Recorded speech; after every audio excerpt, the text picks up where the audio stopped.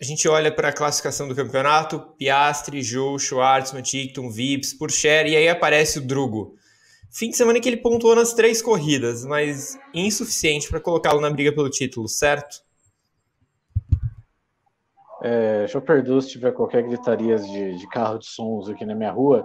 Mas, enfim, é, ao menos o Drogovic conseguiu pontuar em todas as corridas, o que é um ponto bom porque ele já consegue ultrapassar o Lawson e o Darúvala, que eram pilotos que estavam na frente dele, e ganha é, uma certa vantagem. Mas acho que, assim, se a gente pensar no fim de semana onde o Richard Verschoor, que é um piloto, assim, é um piloto até subestimado, sabe? Acho que as pessoas poderiam falar mais dele, porque acho que ele faz é bem digno, mas, assim, um fim de semana onde o Verschoor sai com vitória e o Drogovic sequer vai ao pódio, acho que é algo um pouco frustrante, né?